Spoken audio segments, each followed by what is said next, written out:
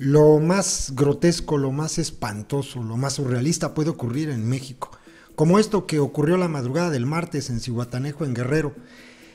Resulta que hicieron una llamada para alertar que en el Boulevard Aeropuerto Los Reyes La Chivera, allá en el municipio del puerto de Cihuatanejo, se encontraba una persona muerta. Llegaron hasta allá los policías y lo primero que se toparon fue, sí, efectivamente, con un cadáver, pero envuelto en una bandera sí, en una bandera mexicana. Y un mensaje que, en el que estaba montada esta persona, en el que se ve en la parte de arriba como dice Viva México.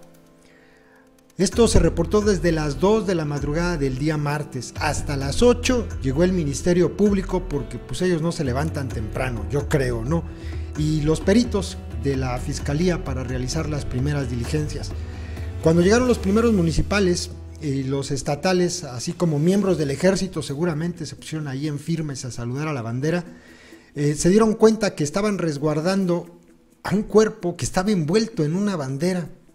Delimitaron el área, dieron a conocer eh, la información a sus superiores, el mensaje como tal no fue revelado por las autoridades, pero pues se ve, ¿no? Que lo primero que está hasta arriba es Viva México, envuelto en una bandera boca arriba. Eh, vestía un pantalón negro y iba con tenis. Por la mañana el cuerpo fue trasladado a la funeraria habilitada como Semefo en Cihuatanejo, la principal zona turística de la región de la Costa Grande en el estado de Guerrero. Es, es que no, no, tiene sentido. Explíquenme qué, qué, es esto, qué trataron de demostrar o, o qué. Viva México y lo envuelven en una bandera ejecutado. Cabe duda que hay gente muy enferma, muy, muy enferma en el país.